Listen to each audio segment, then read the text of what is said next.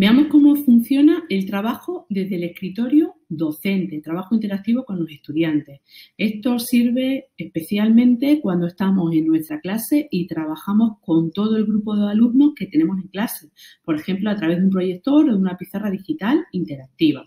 Cuando yo accedo al escritorio docente, me van a aparecer todos los contenidos asignados al grupo, en este caso es un grupo de niños con necesidades específicas.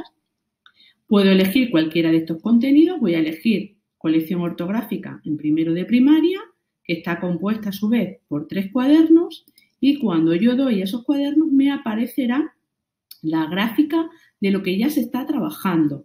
Aquí vaya a ver códigos de colores porque es un cuaderno que yo ya he asignado a alumnos y esos alumnos ya han empezado a trabajar el cuaderno. Evidentemente, la primera vez que accedes, si todavía los alumnos no han empezado a trabajar, todo esto aparecerá en gris. ¿Cómo se interpreta esta gráfica? Pues en este caso es que el cuaderno en el que hemos entrado tiene un total de 14 talleres y por cada uno de esos talleres estas franjas marcan el número de ejercicios que hay dentro del taller, con el código de color que veremos más adelante qué significa cada código.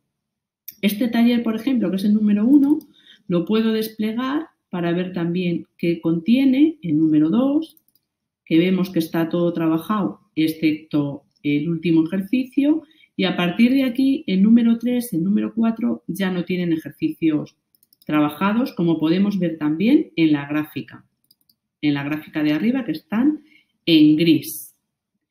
Además, esta es la vista que yo tengo del trabajo del grupo, me hace la media del trabajo del grupo en general. Yo puedo visualizar cómo está trabajando este contenido en concreto cada estudiante. ¿Desde dónde hago esto? Desde mostrar estado de estudiante, porque este es el estado del grupo. Aquí está el estado estudiante. Tengo dos alumnos a los que he asignado ese contenido y puedo ver cómo se visualiza para el alumno 1, que este es su trabajo, es su progreso, o cómo se visualiza para el alumno 2 que en este caso es el que ha trabajado ya dos talleres. Esta es la forma de visualizar ese progreso, bien por grupo o bien por cada estudiante, de cuál es el progreso en cada una de las asignaciones que ya tiene.